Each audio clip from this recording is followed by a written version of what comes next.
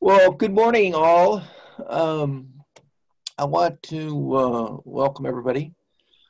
Um, on the line, we have uh, Otis Pierce, who is with the ESU 7, and he's going to share with us um, what his knowledge and his, his uh, skills on the uh, Chromebooks.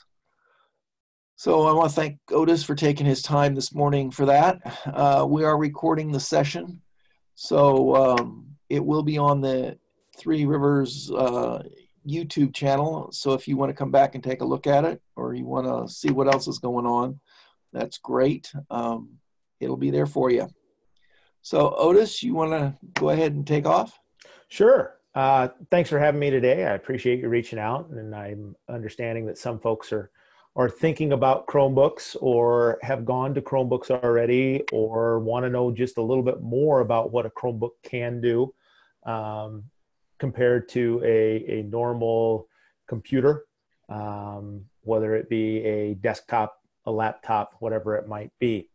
So, kind of hoping uh, out of this session, uh, before I get into talking about myself a little bit, uh, hopefully you'll be able to define what a Chromebook is and does because uh, it is slightly different, but very slightly the same as well. There are some similarities and differences. Uh, be able to list some pros and cons for Chromebooks in your library, and also list pros and cons for Chromebooks versus uh, a PC or a Mac uh, computer uh, in your library as well. So a little bit about me. Uh, I am just began uh, a couple days ago my eighth year at ESU 7 in Columbus as a PD coordinator. Um, I started out as tech integration and then it, it's kind of evolved. I saw myself on the PD side as it was anyway. Uh, a lot of other things as well, uh, but mostly helping teachers integrate technology into the classroom. Um, I'm also uh, media coordinator, our production department coordinator. So um, I go out and share all the fun copyright things with uh, with teachers, and they're going, "Oh shoot, uh, we should not be doing that," which is also makes it fun a little bit as well. Uh, prior to the service unit, I taught for 13 years in Sutherland, Nebraska. Uh, I was a 712 math teacher and coach, uh, and that was my only teaching job before I came to the service unit. Um, so uh, that is a little bit about uh, me and what I do here at the service unit. Uh, I do have a little bit of a disclaimer here dealing with librarians and everything all the images I am using, I'm using with permission as a Google education trainer. Uh, all these come from Google. I'm able to use these as, as a certified education trainer, which I have been for seven years now uh, with Google. So uh, everything is on the down low, or if I'm using some other pictures, they are from Pixabay, which are Creative Commons zero attribution, but I still have links to them as well. Uh, you will, I will at the end of this presentation as well give you a link to this slide deck uh, so you will have it as well along with the recording so you can kind of go through some of those pieces a little bit with yourself, which I also have some notes, uh, just little places uh, as well in those. Um, so what is a Chromebook? Uh, and people can sometimes ask, well, what's the difference between a Chromebook and a computer? Well, a Chromebook is just like a laptop or a computer. Uh, it can also be, turn into a tablet, uh, rotating tablet, kind of like some PCs will be able to do. Macs don't quite do some of that. Uh, if you want the tablet version, you actually have to go with an iPad uh, if you're wanting that. But what's nice about it, uh, the price range, uh, you can get one for $250 or you can get one up to $900. Uh, some of your touch screen flips, uh, 360 ones as they call them, are up in the 200 or $900 range. You can get some nice ones down around $250 a lot of the schools that I see in our service unit that are going to Chromebooks are getting about that 250 to $300 Chromebook, and then they pay a little bit of extra that attaches it to their Google domain uh, to be able to do some of the control. Uh, the brands uh, they're out there. There's the Asus, Lenovo, HP, Samsung, Dell. Uh, there are quite a few out there. Uh, a lot of schools stick with like the Ace, these that I've just uh, named right here. And one thing that the Chromebook does do, all it does is run Google Chrome. Uh, if you use a web browser, Chrome, uh, that's what it runs. All it does is connect to the internet, period. That's it. Uh, there is a little bit of storage, but not a lot. So it's not like you can download things and put it on there. Uh, you log in using a Gmail account or as a guest. So it could just be a regular Gmail account. Uh, if you have, say, school students come in that aren't necessarily one to one, or elementary kids, middle school kids, sometimes they don't let them take their devices home. They could come into your library, log in with their school Gmail account, and be right in and be working right then and there. Uh, so all it allows you to do really is browse the web. Uh, it doesn't matter what kind of um, application you're working on. Google has done some things that now you can edit in Microsoft uh, in Google Drive, uh, which is kind of the documents, spreadsheets, presentations. Um, I'm using a Google slide presentation right now. Uh, so it'll allow them to do uh, a lot of those things. One thing that there is with Chromebooks, um, as with any device, is called an end of life. Chromebooks, it depends on what it is. In this example, uh, a Chromebook 11, which is an 11 inch screen. Um, if I remember, I can't remember what, oh, this is an HP. Uh, 11 inch screen G6 EE. It's technically its end of life or when it stops updating the operating system is going to be November of 2023. Um, you can see some 2025 ones in there. Um, when you get the slide deck, um, the speaker notes in this one has the link to this end of life chart for all of the devices. Uh, so that's basically when it stops updating, just like you have to update the operating system on a Mac, uh, on a PC. Uh, that's what it does. They do those security updates every now and then. You just turn on the auto update. It'll auto update those Chromebooks fairly easily for you.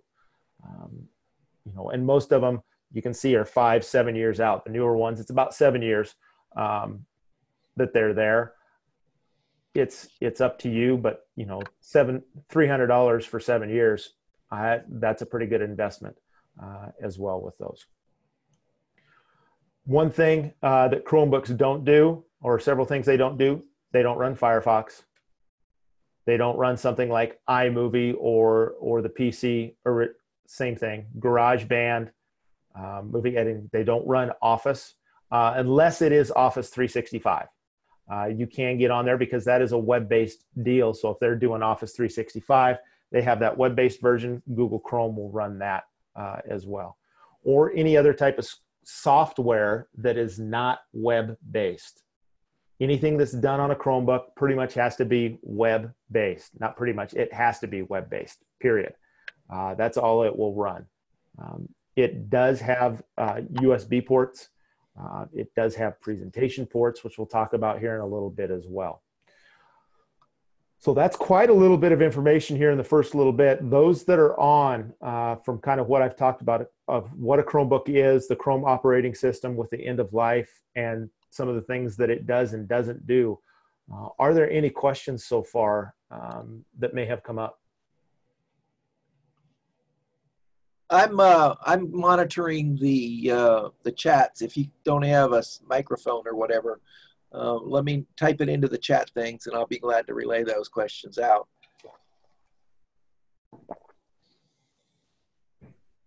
Um, let me ask a couple of questions then, uh, Otis.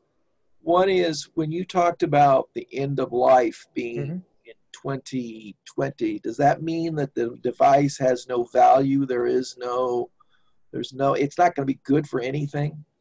Well, it'll still run uh, it'll still work past this time. It's just that the operating system doesn't update. So those bugs and fixes that may come up and security updates no longer work. You could probably sell it, um, but it's going to be, you know, you're not going to get the 250, 300 dollars if that's what you're what you're doing. You may get 25, 30 dollars out of it um, as you're doing it, but it can also be there. It, it's still useful. It'll still work uh, it's just a matter of the operating system won't update. Okay, so that um, I can still use it for the thing. Let me give you another example. Uh, uh, Microsoft said that um, Windows 7, they were no longer going to maintain it um, after what, last year was it? Um, or is I it believe that's right. Something like that. So, but you can still run 7 on your computer and it still works if you don't want to update it basically. That's what you're saying. That's correct. That's correct. But you know, with this, with Chrome, you auto update it. Um, otherwise, up in the top right hand corner of your Chrome web browser, there are usually three dots. Those will turn some other color, or there'll be something comes up and says, "Hey, something needs to be updated."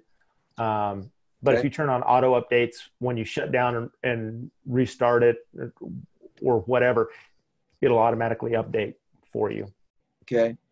Um, then the other thing about this is the um, network. Without the network, will the device run? Can I still use it for word processing uh, without um, the network? Let's say my well, you talked a little bit earlier about when we had the flooding and mm-hmm. and uh, one of the school districts lost their links to the internet. Mm-hmm. Uh, was the device dead at that point, not usable? No, um, but sometimes some of the things with Google, they ha- need to make sure they have offline docs set up uh, so that they can work offline. Um, I have used that before where I can, I, of course, I had a regular laptop, but it'll, it works the same way on a Chromebook. Being able to work on a document without internet access. And then once you get internet access, it automatically updates the doc. Um, I did that flying it on a plane at about 30,000 feet at about 600 miles an hour, working on a Google Doc um, okay. as I was working. So it will still work. Um, you're able to do the, the word processing with Google Docs and everything, but you know you're not going to be able to go anyplace else. Okay. Uh, one of the libraries has a note here on the chat. It talks about they have four Chromebooks and printing is their biggest challenge. They have to save the document, then log into their Gmail account, then print it from there. Um, there's got to be a better, easier way to do that without so many steps. Mm-hmm. Um, the problem that she's having is the tech support she has is not real familiar with the Chromebooks, and so they're having a little bit of a problem with that. Well, there is cloud printing Google has cloud printing options. Uh, and that's kind of how it's done, uh, where you can send that, and it, and you have to have those printers that have that capability as well um, to be able to do that and, set up. Um, I have not set that up, so I don't know what that process would look like. Uh, it's mostly done with our our network operations folks help out with that but I know you can print from a Chromebook uh, just as long as you have that cloud printing capability set up. Okay, so uh, they need to be talking with their tech support to talk about cloud printing. Is that mm-hmm. right? Yeah. Okay. That would be That's all the questions I have right now, unless there's some others that came up. Okay, let's move on. Go, Otis. All right. Uh, some pros and cons of Chromebooks, because uh, I know there are pros and cons to anything. There are pros and cons to Chromebooks. There are pros and cons to PC desktops. There are pros and cons to Mac desktops. There are pros and cons to the the brand of device. Um, you know, it's it's a lot of things that we talk about when we go out to schools, and I'm helping schools decide what device should we do. It's a matter of what you want to do with it, and then find a device that meets what you're wanting to do with it as well. One of the pros is no viruses. You don't have to worry about having viruses in a Chromebook because all it runs is the Google Chrome operating system, which just connects to the web. Um, you know, so you don't have to worry about those virus things or those virus protection pieces with it. it is lightweight and portable. Um, when I first started the service unit seven years ago, I had one of the old MacBook Pros that had the, the CD drive. Uh, the bottom case was probably about a half inch thick um, and was heavy. It was very heavy. Uh, I went to a conference uh, in San Antonio, uh, which actually starts this weekend, uh, ISTE, the International Society for Technology and Education Conference um, in San Antonio, and I had a Chromebook. I sw- swapped it out for the Chromebook, which was a lot lighter. Um, so it could be portable around your library uh, for people if they don't want to sit at a desk, they want to go sit in a comfy chair, uh, go sit on the floor someplace. They're able to do that as well. Um, some of them do have a security lock slot, so you can uh, lock them to a certain place, uh, but that lock is a little bit of an extra cost. Uh, so that is an option right there, uh, what is which is a good thing. So there's that security piece. Um, this is kind of a pro and a con. It connects to the web only, uh, just because it, some people may want to do some type of video editing um, that they actually need some type of software for that's not web based, because some of the web based things um, may not do what they're wanting to do um, on that as well. So it that's kind of a pro and a con. Uh, but also only connecting to the web, you don't have to buy that other software either uh, for those devices if they don't already come with them. Uh, as we just kind of talked about a little bit, the pros and the cons are printing printing documents. Um, it's a little tougher uh, to print from there. Um, I know a lot of our schools are having troubles with shifting to this as well if they're going to the Chromebooks. Um, because we always hear of a hey we're going to go to paperless um, you know you're never going to get as i say you're never going to get to paperless because there's no possible way we can get go places without paper but we can always get to less paper you know uh, don't have to print out a, a 20 page research paper that you can you can read and, and annotate and talk about online uh, rather than printing those out. Uh, it's helping save some paper that way as well. So that printing is kind of a pro and a con. It's that cloud-based printing uh, that's there with it that you have to do and have those cloud-based printers uh, as well to do that. So some differences, kind of talking Chromebooks and um, it, a, a, Mac PC, uh, desktop type version as well. Um, Chromebooks only connect to the web PCs, they run multiple programs. Uh, if you're going with a full blown computer, they're going to be able to run a multitude of programs that you can put in there. But as I said before, you know, if you're only connecting to the web, you're not having to pay for Microsoft Office. Um, oh, I'm going to call it Camtasia, which is a video editing software. You're not going to have to pay for GarageBand. You're not going to have to pay for all those other devices. You're not going to have to pay for a virus like a Sophos uh, antivirus or a, a, McAfee antivirus piece with it as well. Um, both have web, webcams.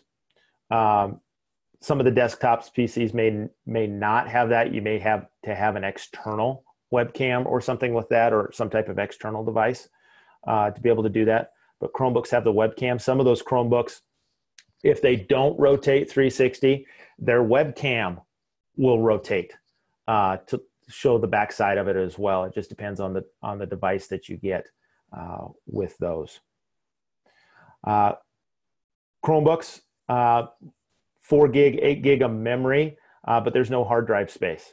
Uh, so that memory is mostly for running that operating system. Whereas PCs and Macs, um, how much memory do you want to buy and how much do you want to pay for? Is, is really what it what it comes down to. Do you want a um, a 256 gig hard drive or do you want a 512 gig hard drive or you know so or do you want a terabyte uh, of memory as well so there are a lot of different options there. Um, and obviously the more memory you have in uh, a full-blown computer the more it's going to cost you uh, as well. Uh, some other differences here chromebooks mobile uh, can use in multiple places in the library. Desktops are pretty much confined to where you want to do where you want to put them. Uh, of course, if you have the laptop version of it, uh, having those locks and everything as well, um, they're still able to move around a little bit, but the desktops are kind of a, a, static, a static thing uh, there with that. So when we're talking about pros and cons and differences, uh, have any other questions uh, come up? You're muted, Eric.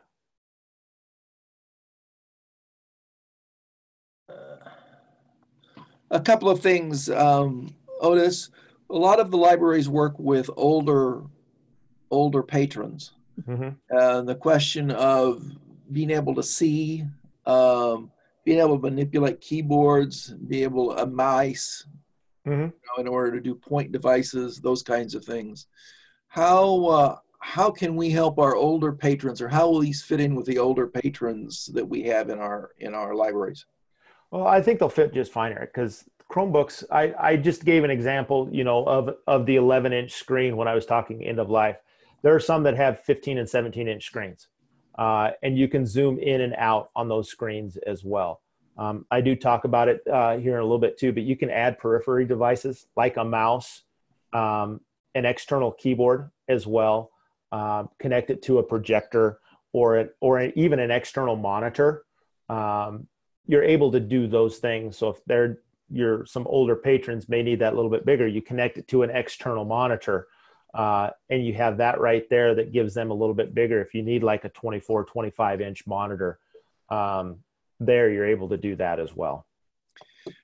You, you talked about no viruses uh, under those of us that have E-rate, and I know you you schools have the E-rate too.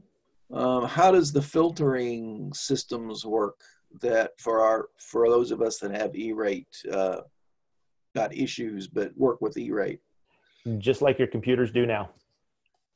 Same type of filtering filtering pieces that that your computers do now. You run them right through the filter. All our schools run them through their school filter. Um, so you can do it the exact same way that you're currently doing it. So if we connect to like Genoa and Bancroft and uh, some of the others, if they connect to the schools, will they be able to use those filterings or do they need to talk to their ISP for that filtering? Um, that I don't know the answer to, Eric. Uh, I think you could talk to both because uh, it depends on how they have that filter set up, possibly with those E-rate things, the way that they're doing that right there. Um, if they're through the schools, they're probably going through the school filter, uh, just on some different uh, policies uh, that's allowing a little bit more than what the kids will get to, but it's still gonna still gonna filter out your porn and, and things like that as well. Uh, if you're not through a school, then you're gonna have to go through your ISP uh, to see what the filtering is and, and how you have it set up currently. Otherwise, it's going to work the same way uh, that you have it. Um, in the PC environment and the Mac environment, memory within the systems are key to keeping speed up and functioning mm-hmm. speed. Um, without a without memory or additional memory in the in the Chromebooks, how is that is that going to slow things down if everything is off the network? You know, it drives the speed of processing back and forth and, and no. traffic on the network and those kinds of It's just however fast your network is. How many things do you have hitting your network at the same time? You know, because if you if you think about it, if you have 10 devices on let's just say a 100 meg line, each one's getting 10 megs up to anyway. It it depends on how fast it is. So it's speed it really isn't an issue and it's just like anything else however much stuff you have open if you have 50 tabs open it's going to slow you down um, just like if you have 50 tabs open on a on a pc or a mac it's going to slow it down uh, as well so i think it just it just depends speed is still pretty good with them uh, even though they don't have as much memory. Uh, the speed is still up there depending on where they're hitting the internet at that time. So one of the things that the libraries need to be well aware of before they move into this environment is their speed on their network DSL. If I have 10 PCs on or 10 uh, Chromebooks on a DSL line, I'm probably not going to be satisfied with the processing speed. Is that mm-hmm. probably a fa- safe statement? Yeah, probably the same if you have 10 PCs on that same DSL line. Okay. okay. So, um, and and knowing one thing, it's a lot easier with with Chromebooks. We'll hook up to Wi-Fi. Um, you'll need the Wi-Fi piece with your Chromebooks. Uh, it's a little harder to hardwire. Um, you know, plug that that Cat six cable in. Uh, it so can be done, but you got to have the dongle to do it, and those dongles can get pulled out and misplaced or taken um, as well. So I need an extra piece to connect the hardwire onto the network. Right. Or if you're going to, um, say, an external monitor, you're going to need a little dongle that goes in. And a lot of Chromebooks now are going USB C. They're Which going with the USB very little, the micro, the micro connectors. Mm-hmm. Okay. Mm-hmm. And those connectors, depending on what you're doing, are all extra costs as well. Okay. Okay, great. I think that's all for right now, Otis. Okay. Yeah, go, Lisa. Um, Uh, when we turn off our, our hardwired, our computers, it immediately erases whatever anybody has installed on it or used it for. So if somebody's doing their bank account or something, that's all erased once we turn it off. Do mm-hmm. Chromebooks work the same way? Yeah, because they'll log, they have to log in using some type of Google account, uh, whether it's a, a personal Gmail, a gmail.com account, or if somebody has a school account. Um, you know, like ours, some of ours are schoolname.esu7.org. Then they log out of it. Nobody can get in on that one right there because you have to log in with your own Gmail account. Now, if they leave themselves logged in, yeah, they're going to be able to see it.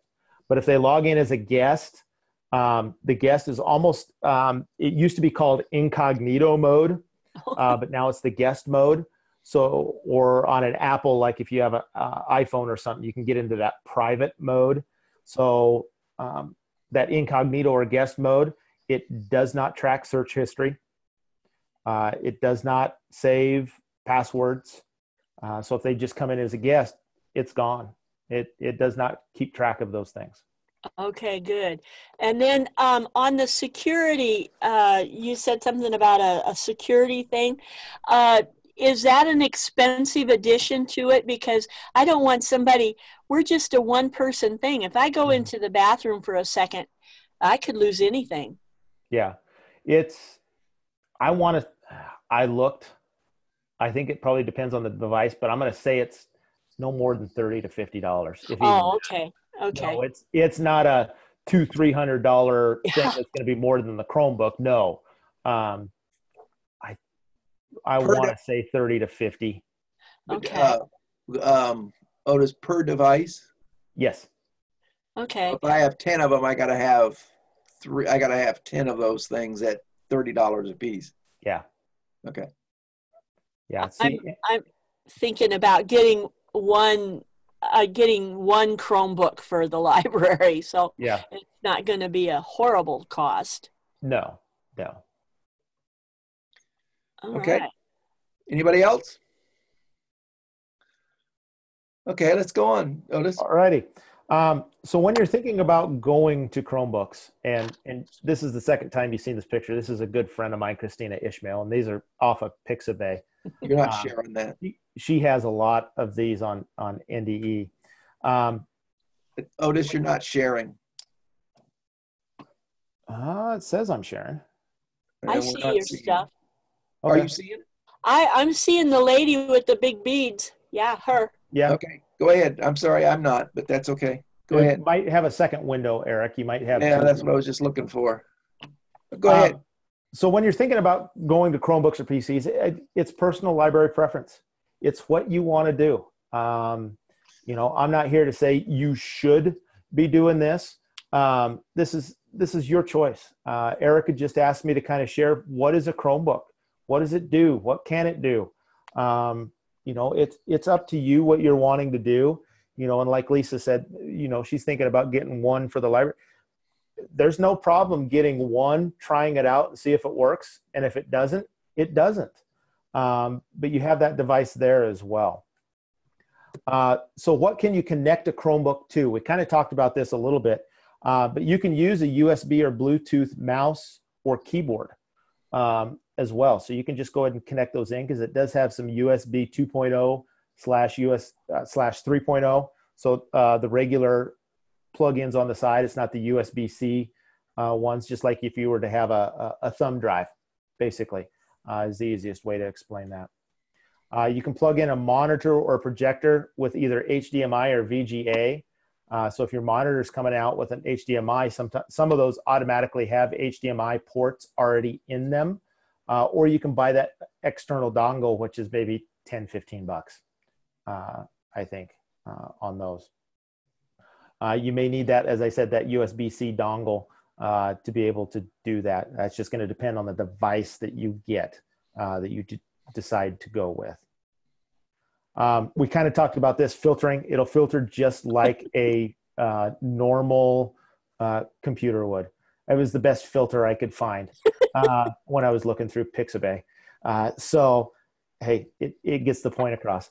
Um, you know, it'll work whether you're going through the school or whether you're going through your regular filter with you're dealing with E-rate. Um, you're just going to do it as you normally would your your regular computers that you already have. Uh, it's completely and totally up to you. So uh, hopefully that's um, kind of my presentation here is, you know, hopefully you can define kind of what a Chromebook is and what it does.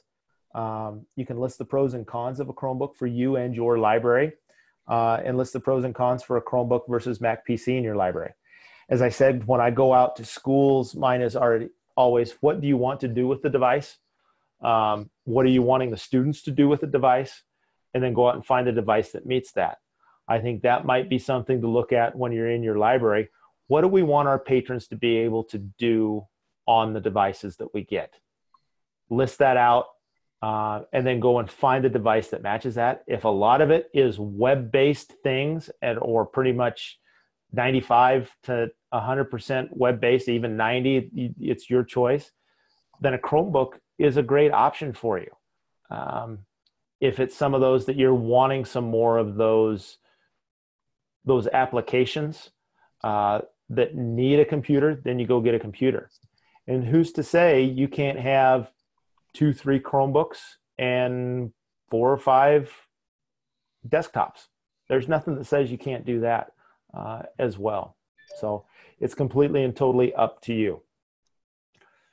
Any last questions, comments, concerns? Go ahead, Lisa.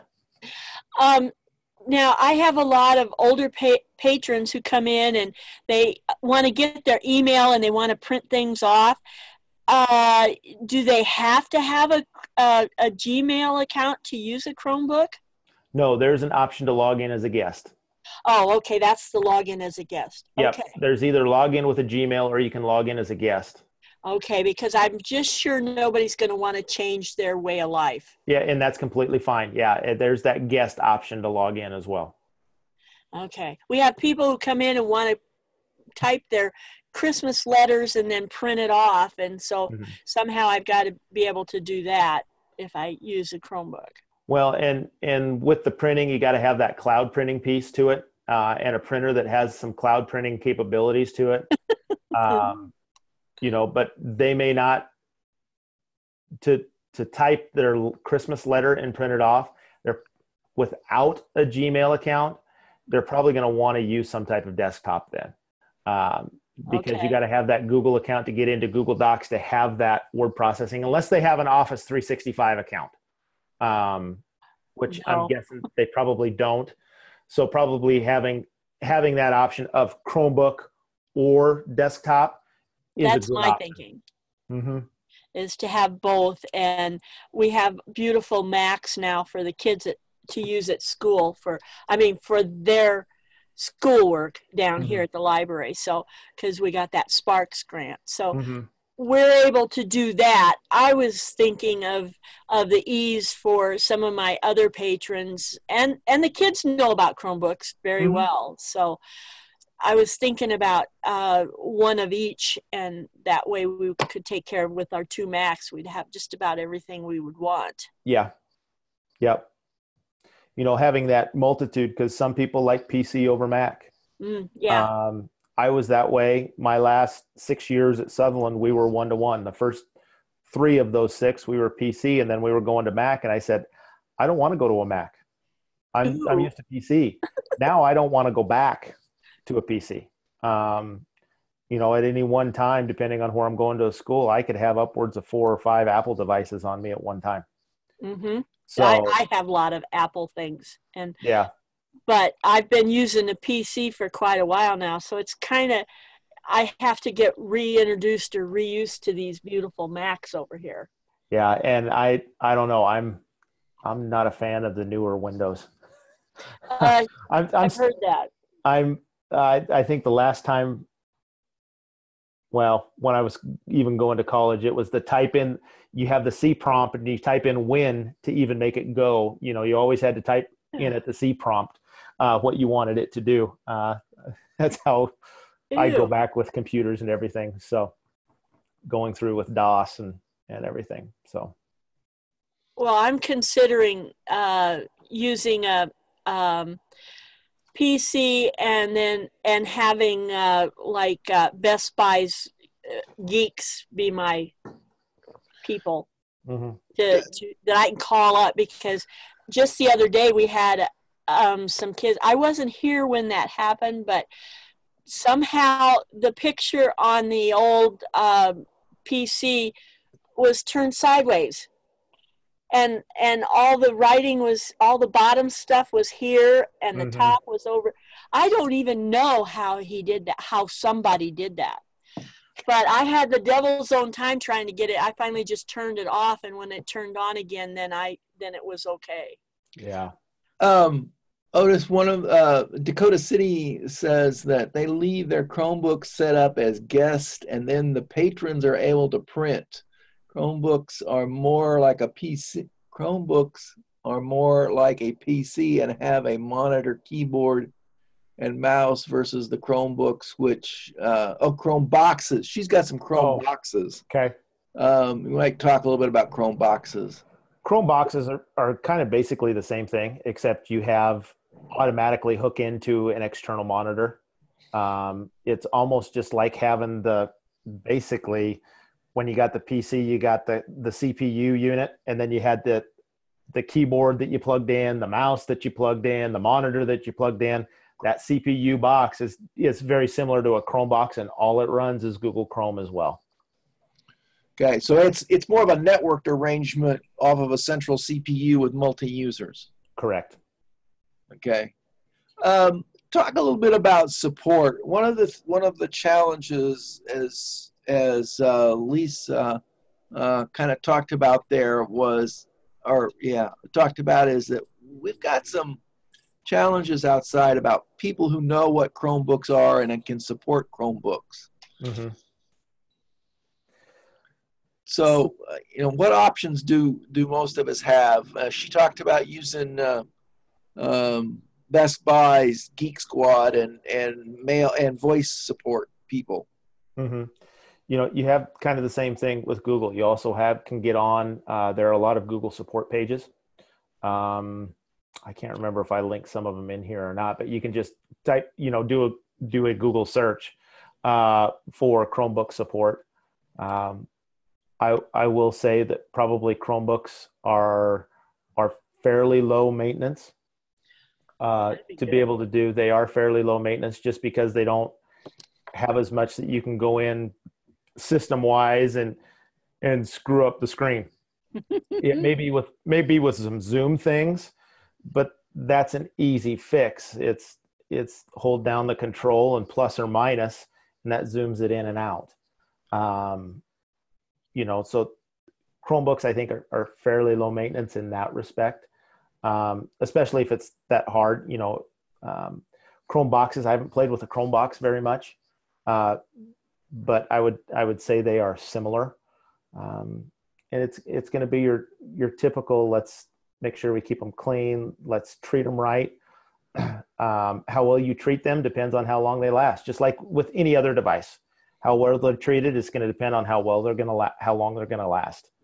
Um, and you can get some versions of the Chromebook uh, that are were made for education. I guess you could say uh, is the easiest way. They were made for education and have a little bit more durable outer shell to them uh, is an option as well. Uh, and really, you can go just about any place to get a Chromebook that you would a, a regular desktop. You can go to Walmart, you can go to Amazon, to Best Buy, to Office Max, uh, to CDWG, um, all these different places, OfficeNet. Uh, you can go to a bunch of different places uh, and get a Chromebook. Uh, you can go to Target, um, Staples. The, So the major find a Chromebook. manufacturers again who are who uh, Otis? Uh, Asus, Dell, Samsung, HP. There are many out there that do the Chromebook. Uh, and a lot of our schools are either going with uh, Asus, Lenovo, uh, HP, Dell, or Samsung are the main ones that our schools are going with. Okay. Um, one of the you we we bring as you know we bring the kids in uh, you know occasionally Mhm. mostly and um, they use the PC setups for gaming and things like that. Are there Mhm. any particular challenges that we need to think about for uh, those kinds of things? I, I think if kids are wanting to do the gaming, it's going to be the PC side because I don't. There is not enough. I don't Mhm. think there is enough probably processing power on a Chromebook to be able to do that. What Um, about Netflix? It'll run it because it's web based, Okay. um, and it's gonna that. And once again, that's all going to depend on what's the internet speed you have at your at your library. Okay. you know it's yeah, obviously if you're streaming video it's going to pull your pull your speed way down uh, with the streaming video i know there's a always a spike in our schools that they gotta they gotta block some things around the uh, middle to end of march um, people trying to stream ncaa basketball tournament during school time uh, you know so there are some of those things uh, you got to watch out for as well Okay. Other questions? Anybody else?